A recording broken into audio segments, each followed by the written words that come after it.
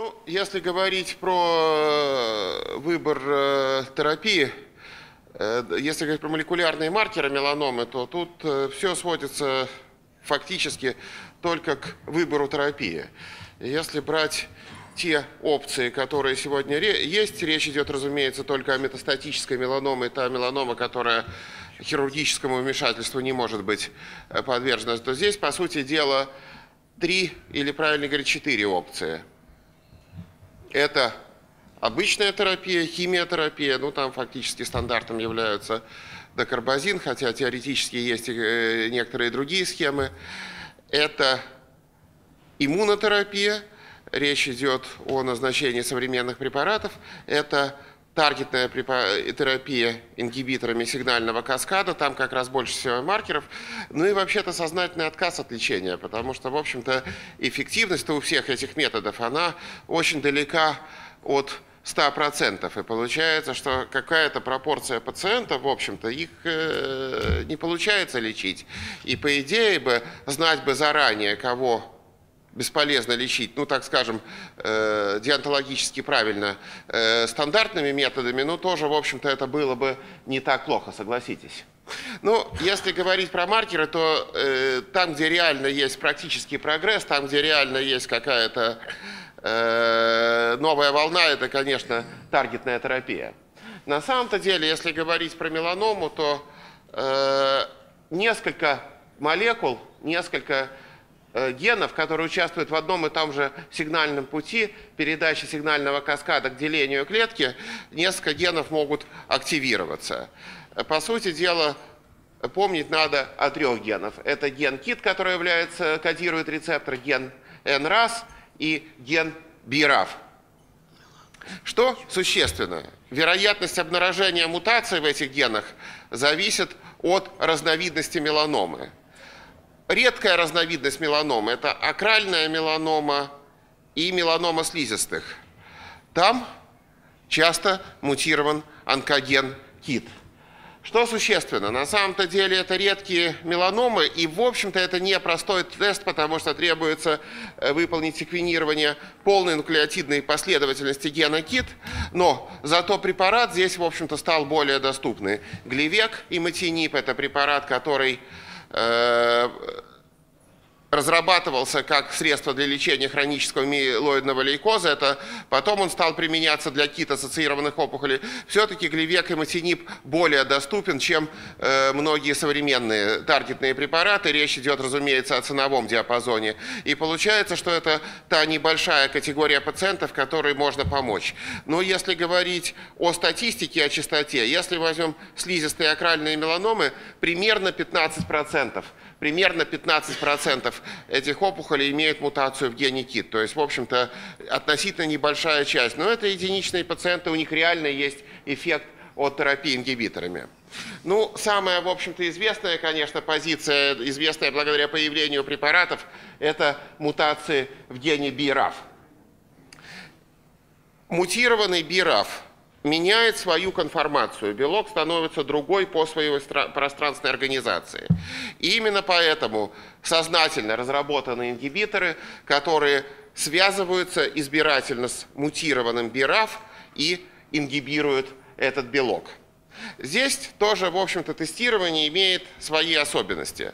Если взять литературу и достаточно правильно говорится, что примерно половина меланом кожи, половина меланом кожи имеют мутацию в гене БИРАФ. Но и здесь есть определенные клинически важные наблюдения. Самое существенное, что надо понимать – практически, ну, стопроцентно неправильно говорить, но очень высокая вероятность обнаружить мутации в гене БИРАФ у очень молодых пациентов. Это та достаточно молодая категория людей, которые, в общем-то, могут себе позволить э, много загорать. Это в основном любители экзотических путешествий, любители поездок на всякие курорты, но самое главное, что любители интенсивного загара. И именно у молодых людей которым меньше 40, вот такие меланомы наибольшая вероятность обнаружить эту мутацию. Там где-то 85-90%. Мораль какая? Если очень молодой человек, если меланома на том участке, который в норме, закрыт от солнца, там, где бывают ожоги, ну, спина самая характерная локализация. Если лаборатория говорит, что нет мутации БИРАФ, сделайте тест еще раз, потому что, еще раз говорю, что вероятность обнаружения мутации в данной категории пациентов, ну, примерно 90%. Другая интересная особенность. Вообще-то изначально вся идеология лечения меланомы и все тест-системы разрабатывались на самую частую мутацию. Называется она В600Е. Это В – это аминокислота, Е – аминокислота. Но есть более редкая мутация, В600К. Это в той же позиции просто другая аминокислота, которая подвергается замене. Считается, что это редкая мутация, и самое главное, что ну, вся идеология это разрабатывалась 10 лет назад, когда методы генетического анализа были более скромными, чем сейчас, и поэтому вся идеология, вся диагностика разрабатывалась для частой мутации, В600Е. Опять же, большинство больных, для большинства случаев меланом, это вполне удовлетворительно. Но если мы возьмем очень пожилую категорию пациентов, посмотрите, это люди, которым старше 80 лет. Каждая четвертая мутация является неканонической. Ну, я понимаю, что у нас это немножко такие теоретические знания, потому что у нас э, нет полной обеспеченности препаратами. Если бы у нас каждый больной с мутированной меланомой получал бы препарат, это были бы очень важные э, знания. Но у нас-то фактически не препарат подбирается пациенту, а пациент к препарату аппарату, согласитесь, это, таковы реалии. Поэтому все это выглядит кабинетной наукой. Но все-таки, если забегать на несколько лет вперед, то вот эта специфика распределения мутаций, это наша собственная работа, кстати, это первое всероссийское исследование меланомы. Э, оно существенно именно для практики, потому что если вы направляете пожилого пациента на диагностику, надо понимать, какой спектр услуг оказывает лаборатория. Диагностика мутаций очень важное дело. И категорически нельзя этой диагностикой пренебрегать. Это известно. Но еще есть один аспект, о котором мало знают на самом-то деле специалисты. Вдумайтесь, все клинические испытания, регистрационные особенно, все, кто участвует в клинических испытаниях, знают, не допускается принимать в испытания пациентов, у которых уже была другая опухоль. Первично-множественные опухоли – это критерий для не включения в клиническое испытание. Почему? Потому что если есть метастаз, непонятно от какой из двух опухолей он происходит, непонятно, что мы лечим.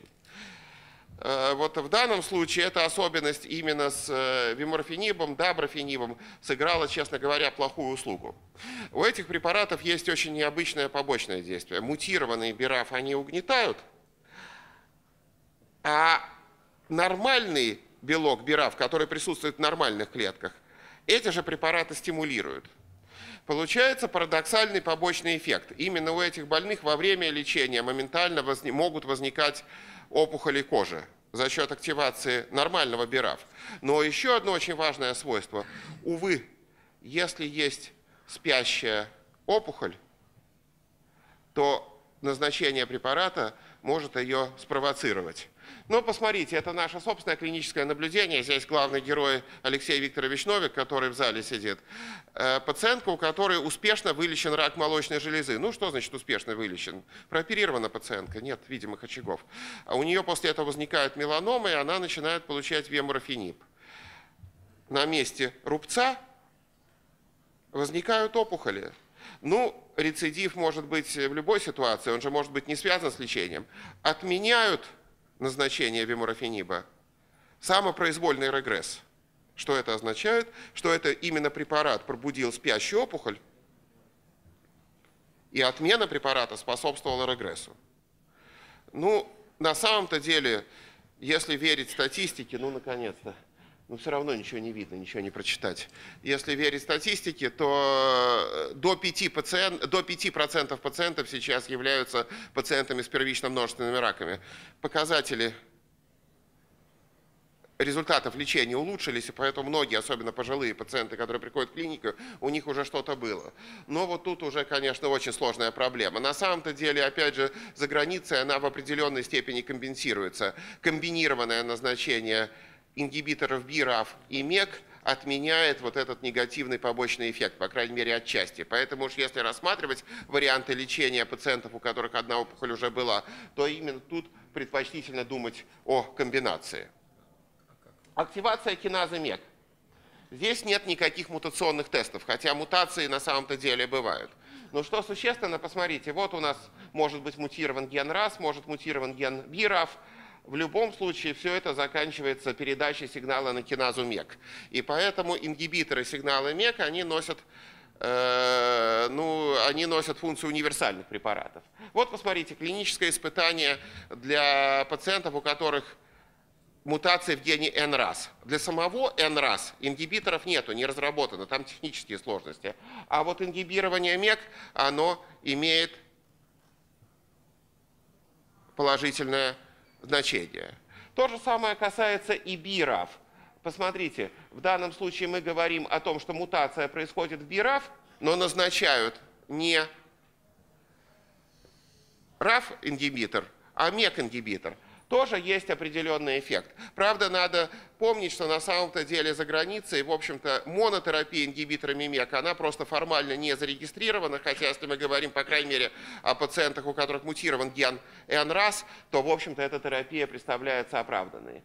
Ну и, наконец, что очень существенно, и об этом сегодня много будут говорить, в том числе и на сателлитных симпозиумах, все-таки на сегодняшний день речь идет о комбинированном назначении ингибиторов БИРАФ и МЕК – и, насколько я понимаю, вообще сейчас ситуации в развитых странах, где неограниченные ресурсы, чтобы БИРАФ ингибиторы назначались в качестве монотерапии, их нет. Совместное назначение с МЕК-ингибиторами значительно замедляет приобретение опухоли резистентности. Иммунотерапия. Ну, в общем-то, еще менее доступные препараты. В отличие от таргетной терапии, здесь достаточно условные маркеры – Посмотрите, что известно. Если вы выполните полногеномное секвенирование опухоли, сложная процедура, но, в общем-то, доступная, честно говоря, и посчитаете общее количество соматических мутаций в опухоли, то отвечают на терапии те опухоли, в которых больше мутаций. Почему? Больше мутаций, больше измененных белков, как следствие больше антигенность и лучший ответ на иммунотерапию. Ну, с одной стороны, тест, в общем-то, сложный, а с другой стороны, видите, вот с мутациями там просто. Мутация либо есть, либо нет. А вот здесь, на самом-то деле, э, подобных, э, подобная ситуация недостижима. Э, еще интересные особенности, но вот это на самом-то деле успехи фундаментальной науки, но они заставляют задуматься вообще о том, как работают ученые. Посмотрите, в данном случае меланому лечат у мышей. И оказывается, есть штаммы мышей, у которых меланома успешно лечится иммунотерапией, а есть штаммы абсолютно таких же мышей, это все мышки-близнецы, у которых меланома не излечивается. Почему? Когда мышей начинают содержать вместе, то они все становятся излечиваемыми. С чем это связано? Связано это с содержанием бактерий в кишечнике, составом бактерий в кишечнике, который называется микробиота. На самом-то деле в экспериментах, да и, кстати, у людей подобные вещи делают, то, что называется фекальная трансплантация, когда просто кал от одних животных переносят других, то же самое делается у людей. Просто изменяет состав микробиоты. Микробиота является важнейшим компонентом для воздействия иммунотерапии. И в частности бифидобактерии, ну препараты такие есть э, для нормализации микробиоты кишечника, они, как ни странно, оказывают э, по крайней мере в эксперименте, благоприятное воздействие на иммунотерапию. Мораль какая? У нас есть лекарства, есть портрет опухоли, но есть еще самые разные факторы хозяина. То, что, в общем-то, малопонятная совокупность э, процессов, которые называются иммунитет. И самые неожиданные, в общем-то, ассоциации здесь могут быть обнаружены. Еще одна особенность, но это опять же речь идет о кабинетной науке.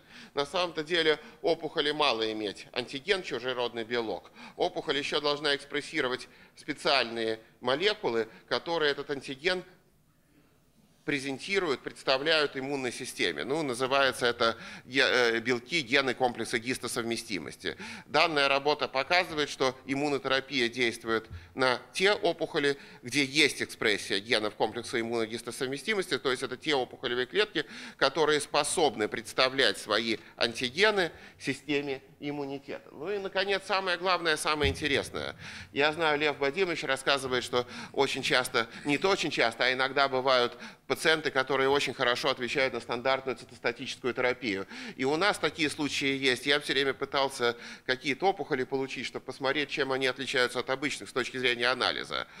Э, это же очень интересная категория пациентов, редкая, которая отвечает. И, наконец, категория пациентов, которые ну, не, не надо их лечить стандартными методами, кроме вреда ничего не будет. Какие же здесь маркеры? Это же самая востребованная область, согласитесь, это более доступные препараты. А это последний слайд, здесь никаких маркеров нету. Спасибо за внимание.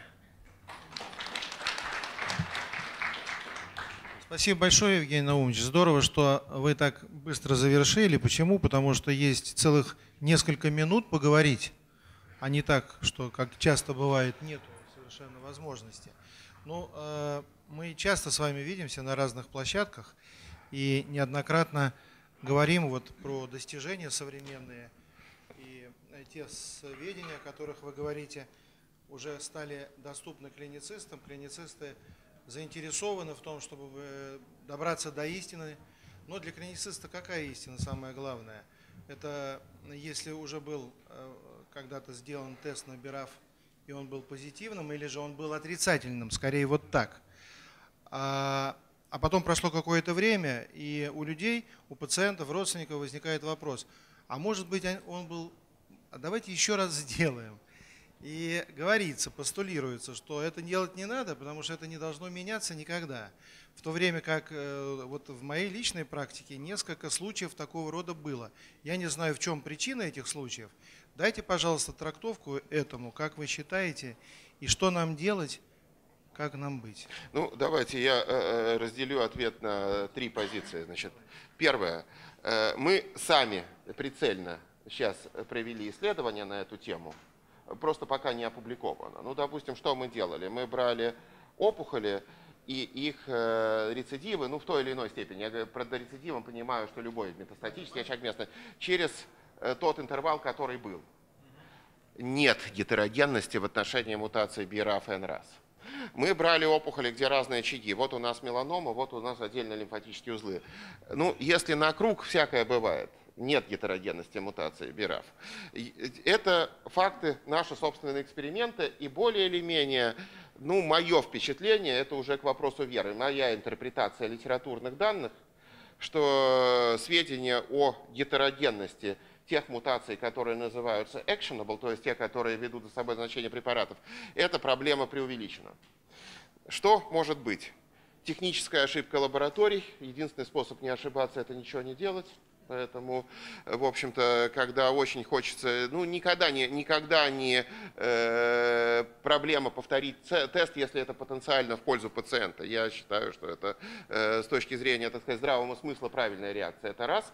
Ну, второе, в общем-то, опять же, если мы говорим об относительно непростых ситуациях, когда мы уверены, что это единственная меланома, Всегда же есть еще определенный риск первично-множественных опухолей. Честно говоря, по своей практике общения с практикующими онкологами, я знаю, что всегда э, в дифференциальном диагнозе вопрос о возможности первичной множественной опухоли забывается. Я видел массу ситуаций, когда очень квалифицированные врачи, э, очень эрудированные, которые любят думать, ну на самом-то деле в начале, когда что-то видели, интерпретировали неправильно. У нас же все-таки алгоритм частые болезни встречаются часто, мы все хотим связать в единый процесс. И вот эти случаи дискордантности у меня всегда возникает вопрос. Ну, они бывают, наверное, но может быть это первично множественная опухоль? Я понял ваш ответ. Для меня самым главным вот в нем, а, и я хочу, чтобы вы еще раз сказали, что да, это так, явилось то, что вы говорите. Несмотря на то, что меланома гетерогенная опухоль по своим биологическим характеристикам, это не касается бираф мутирования. Твердое да. Твердое да. Вот это да. Еще вопросы, пожалуйста. Да, пожалуйста, Зара Григорьевна. Профессор Кадагидзе. Ну,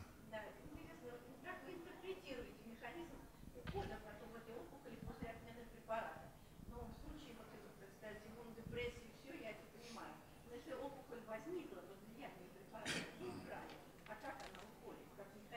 О, это, это очень важный механизм на самом-то деле. Это как раз очень хорошо показано, и как раз э, э, в этом даже идеология интермитирующей терапии. Парадокс заключается в том, что сигнальные каскады, они очень адаптивны к воздействию. И получается, что в опухоли, ну вот это я не могу понять. Все-таки есть какая-то программа, вот как эволюция, мы понимаем, что виды сами э, борются за существование. То есть у человека, допустим, у любого живого существа вот это стремление э, поддержания своей жизнеспособности, оно присуще. То же самое опухоли. Она на самом-то деле э, очень адаптивна к воздействиям, чтобы себя сохранить, как ни странно. И что получается? Когда вы воздействуете лекарством, но ощущение, как будто это происходит сознательно, хотя я в сознательность не верю. Опухоль адаптируется к лекарственным воздействиям, и сигнальные каскады переключаются таким образом, что опухоль может выживать в присутствии воздействия препарата. Если вы отменяете воздействие ингибитора BRAF, происходит регрессия. Если бы это было показано для опухолей кожи, которые побочно возникают, это понятно. Там стимулируется мутированный бираф за счет воздействия препарата, и когда вы убрали эту стимуляцию, опухоль исчезла. Тут все понятно, потому что даброфенип он, и веморофенип, они стимулируют нормальный бираф. Отмена стимуляции, отмена роста. Но и в отношении обычных меланом, казуистически, но такие случаи есть, что когда отменяется веморофенип или даброфенип, происходит регресс. Почему? Потому что сигнальные каскады адаптировались к препарату, и когда происходит отмена, там ну какие процессы? Например, что называется, сталкивается несколько сигнальных каскадов, как э, короткое замыкание, и клетка, деление клетки блокируется. Есть такие механизмы. Ну, как пробки у нас вылетают в доме, когда происходит замыкание, правильно? Тут так и тут клетки. Спасибо большое, Евгений Наумович. Но ну, если вопросов больше нету или если есть? Тогда давайте, наверное, поблагодарим вас. Спасибо.